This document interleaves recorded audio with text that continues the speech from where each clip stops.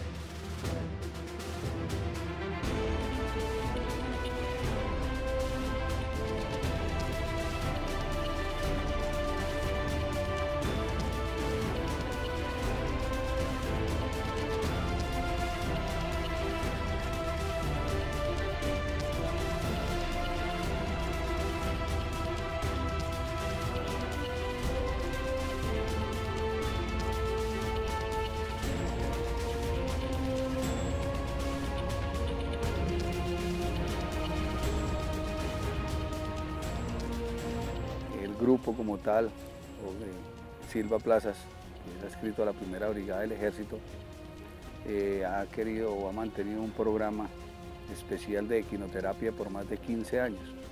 Esto consiste eh, en, el- en la ayuda que le prestamos a, algunos niños con discapacidades eh, cognitivas y que pues el caballo con sus movimientos genera una energía que le transmite a, estos jóvenes y pues eh, a lo largo de estos 15, 16 años se ha visto el progreso de estos jóvenes. Realmente hay jóvenes de muy escasos recursos y esto pues es una eh, ayuda que le presta el Ejército Nacional a, estos jóvenes, de verdad que es importante y, se ve eh, el, digamos, el avance en estos jóvenes porque llegan realmente con unas condiciones críticas y como pudieron observar eh, al final o al espacio de años terminan montando, haciendo ejercicios que realmente a veces algunas personas que eh, eh, no tenemos ninguna discapacidad nos da miedo pararnos sobre un caballo.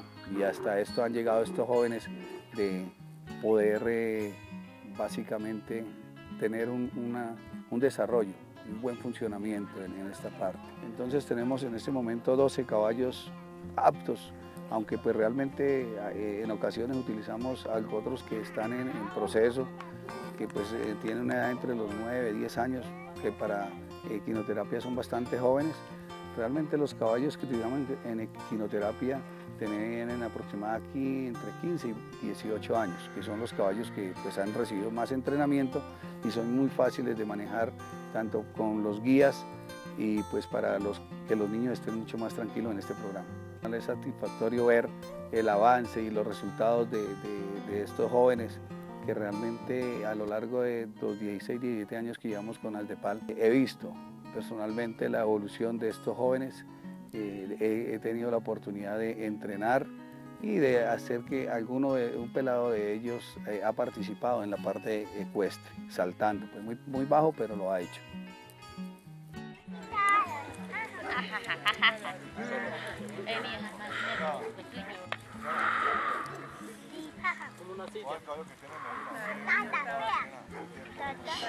El programa de quinoterapia que ACEPAL viene realizando aquí en convenio con el grupo mecanizado Silva Plazas inició hacia el año de 2001. Ya llevamos bastantes años con este programa y créeme que el impacto que ha causado dentro de la comunidad y dentro de la familia de la población con discapacidad ha sido muy bueno. Eh, este programa eh, consiste en utilizar pues, al caballo como una herramienta más para ayudar en la realización y re- rehabilitación de los chicos y complementar actividades de las que realizamos en la institución. El caballo se convierte en un coterapeuta para nosotros.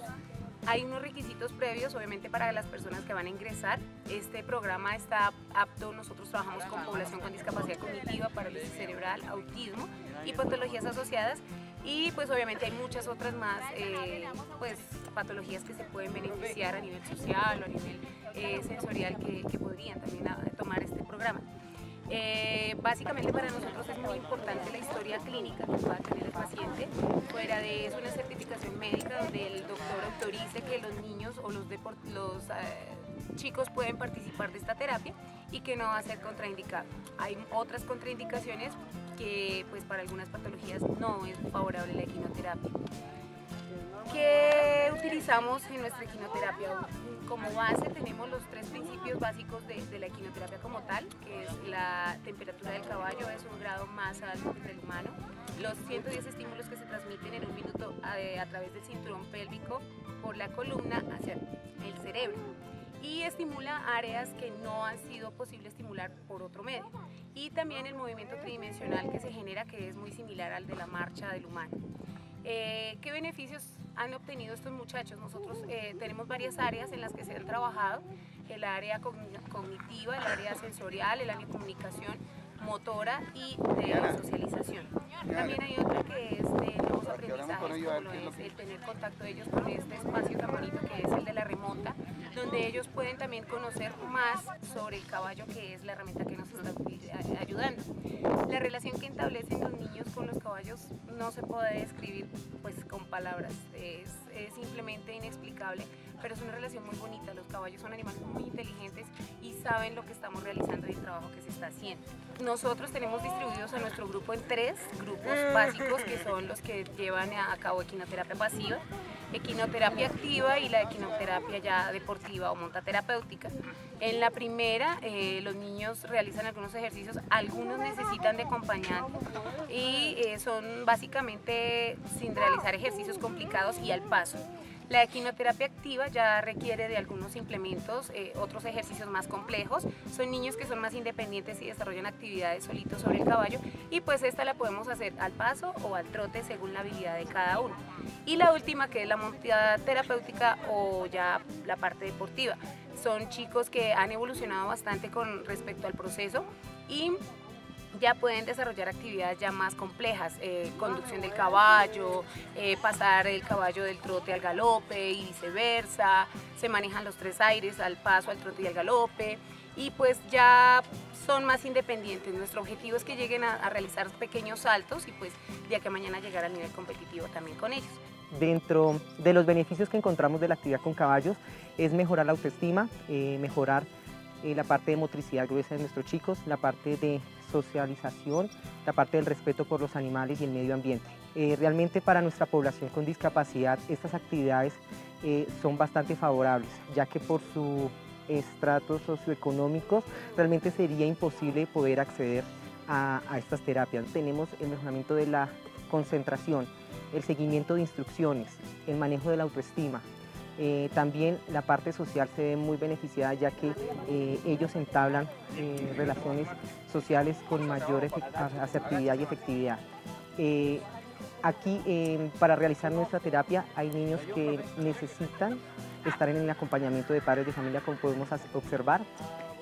no todos lo hacen, pero es fundamental para algunos casos para mayor seguridad. Póngasela entre más Sí, entre más. El patrón de marcha que transmite el caballo sirve para los pacientes que tienen dificultad para caminar y que no han podido grabar eso en su cerebro porque bien sea tienen el tono muscular muy alto o el tono muscular muy bajo, hay alguna lesión que impide que empiecen a caminar. Entonces lo montas en el caballo muy bien alineado, muy bien centrado y ese, ese patrón que está haciendo el caballo se va grabando en el cerebro de la persona no les gusta la quimioterapia, hay otros médicos que sí les gusta la quimioterapia. Pero el que no le gusta dice pues que es exactamente lo mismo que jugar con plastilina. Hay quienes, hay quienes no quieren nada alternativo a la medicina, ¿cierto? Pero los médicos con los que yo estoy en contacto son, son tres neurólogos, unos especializados en adultos, otros en pediatría, y los tres me decían, hay uno que me dice, vea Mona, yo le voy a hacer tan claro como esto, los niños que van a quimioterapia, que están llevados, y les están haciendo quimioterapia, les están haciendo de todo, entran muertos de risa a este consultorio y tienen todas las habilidades y su familia está feliz. Los niños que no, no tienen la oportunidad son niños muy tristes que, que ahí se les acabó la vida en estar en la quimioterapia.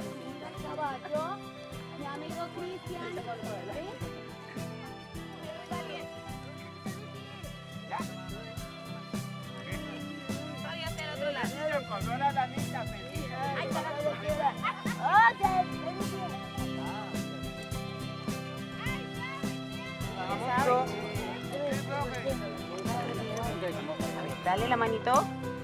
Dile hola, bucanero. Coge su zanahoria. Muy bien, dale un besito. Eso, qué lindo, ¿ves? Dile chao, bucanero. ¿Te gustó la terapia? ¿Sí? Dile al muchacho chao. Dale la mano.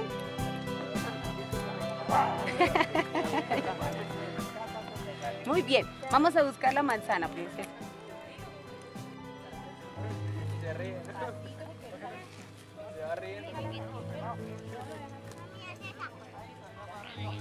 Cuando un papá o un familiar de alguien que tiene una enfermedad tan grave como esta, ve que ellos pueden realizar, que, pueden hacer cosas, yo pienso que eh, la, confianza genera muchas posibilidades, porque cuando uno está convencido que su hijo no puede hacer nada, no lo deja hacer nada, pero cuando lo empezás a ver que él sí puede, que puede manejar un caballo y que entiende una instrucción, yo creo que todo el entorno se va creyendo en él, entonces no es solo el caballo, sino que, se, va- poniendo que donde él esté ya todo el mundo sabe que puede hacer muchas cosas.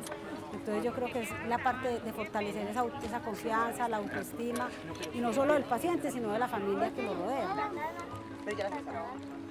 Oye.